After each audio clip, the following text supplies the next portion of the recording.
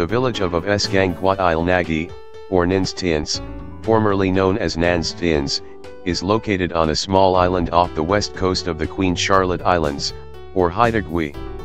Remains of houses, together with carved mortuary and memorial poles, illustrate the Haida people's art and way of life.